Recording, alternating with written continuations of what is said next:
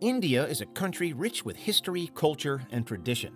Many of the world's religions, philosophies, scientific breakthroughs, and historic moments can be traced back to this particular part of the world. But, according to one local legend, is there also a hidden extraterrestrial story that's waiting to be told? This is Unveiled, and today we're answering the extraordinary question Was India visited by ancient aliens? Do you need the big questions answered? Are you constantly curious? Then why not subscribe to Unveiled for more clips like this one and ring the bell for more thought provoking content? Our story begins in what is now central India around 10,000 years ago. There, in a region now known as Chhattisgarh, local people painted onto the rocks a series of scenes that would, against all odds, survive until the present day survive, and also demand the attention of modern historians, academics, and ufologists. The rock paintings are found in Chhattisgarh's Bastar region, where they've achieved a quiet level of mystique. While there has been some wear, tear, and erosion over the years, the paintings remain in spectacularly good condition. And according to local legend, they depict the Rohela people. The Rohela people perhaps don't have the worldwide fame of some other alien types, but for many there's no doubt these creatures really are not of this world, although they have visited Earth in the past, long, long ago. According to the Chhattisgarh paintings, they seemingly came in vehicles that look remarkably similar to the flying saucers of science fiction. Disc-shaped somethings that hover over the ground via unknown technology. At first glance, you might even assume that the paintings are simply modern creations based on what sci-fi serves up nowadays. But no, the rocks have been verified, and these pictures really are thousands of years old, marked many, many centuries before the advent of film, Hollywood, and even modern-day America. The figures in the paintings are also quite recognizably alien to modern minds. They have large, smooth heads, but otherwise are seemingly faceless. They have long arms and legs. In some of the paintings, they're carrying what might be deemed as weapons, while in others, their arms are open, apparently in peace. At times, these mysterious figures are shown gathered in groups, huddled together, while at others they're shown to be alone. The name Rohela people is then a local reference to their apparent smallness. These aliens, if that is what they are, are noticeably smaller than humans. But according to local legend, that never stopped them from taking humans during their visits. It's said that perhaps a couple of people were taken onto their ships at a time, never to be seen again although it's difficult to ascertain this from the paintings alone. And here, the story is blended with local, traditional, spoken tales that have been passed down through the generations. The legitimacy of this particular alien claim is still being investigated. According to reports, local authorities and archaeology groups have before sought help from international partners, including ISRO, the Indian Space Research Organization, and NASA, in a bid to determine whether the paintings really do show possible alien life.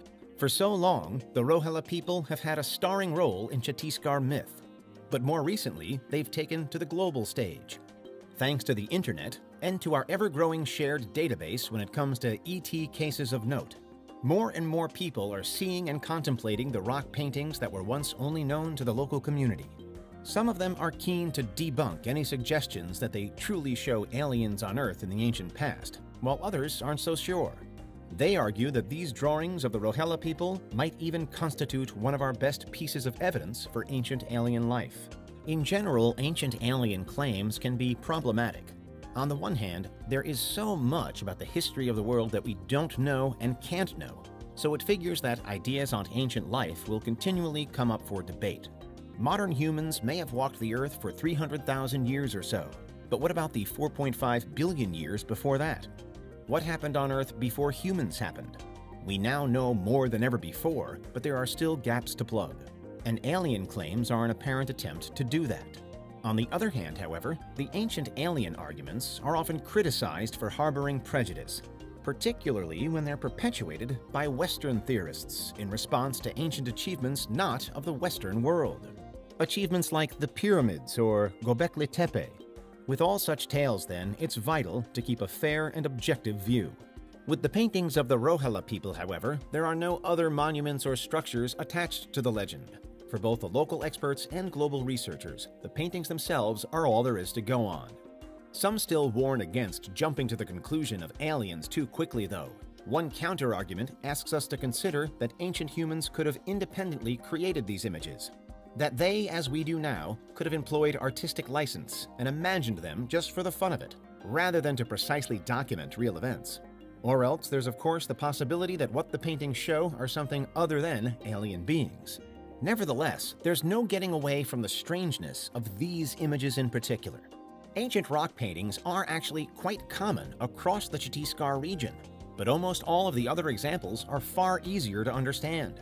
They show humans and animals, hunters, gatherers, predators and prey. There are clear stories within them that match with accepted or predicted history. But that's not the case here with the Rohela people. These paintings, found within what's today a dense jungle landscape, don't marry up with any other idea or artifact about or from the ancient world. To some degree, then, they remain wholly unexplained. What do you think these paintings show? Do you see aliens and UFOs, or something else entirely? For now, it's hoped that a greater emphasis will be given to researching these images in the near future, in the hope that their true meaning can be deciphered. While it's perhaps true that UFOs remain a majority American interest, or even obsession, cases like this are proof that really there are unanswered questions and alleged alien instances to be found all over the world map. It may be the US that takes most of the headlines, especially in the modern age of government-approved UFO reports and leaks of official military sightings. But if these paintings hold even a little bit of ET truth to them, then they predate almost everything else we've ever discovered. Again, the paintings alone are thought to be around 10,000 years old. Perhaps what they show is even older than that. In a recent video, we took a closer look at how aliens, or something like aliens, are seemingly predicted or mentioned in ancient Indian texts as well, with stories to cover everything from time travel to the multiverse. More specifically, the Vimanas appear to double up as UFOs in many of the most influential poems and legends. The Vimanas differ from case to case. Some are shown as rich and sprawling palaces, while others are more modest carts or chariots. But crucially, they're all shown to fly. These spectacular vehicles are said to descend from the sky to the ground. And while there has so far been no direct link made between the Chhattisgarh rock paintings and the Vimanas of lore and tradition, it's fair to say that alien spaceships behave in a similar way. They too move from the sky to the ground, leaving onlookers open-mouthed in wonder. They too have allegedly out-of-this-world capabilities. So was India visited by ancient aliens? Based on just one case study, it's impossible for researchers to claim a definite yes. At present, the Rohela people rock paintings are more an oddity than genuine evidence of aliens on prehistoric Earth. Archaeologists and historians use similar paintings all around the world to gain a greater and greater understanding of all that came before us. But sometimes what the paintings show can leave us scratching our heads. That's certainly what happened here. Because who were those mysterious, faceless figures? What are those discs in the sky? And in general, the question that's always on the tip of our tongues are we truly alone in the universe? What do you think? Is there anything we missed? Let us know in the comments. Check out these other clips from Unveiled, and make sure you subscribe and ring the bell for our latest content.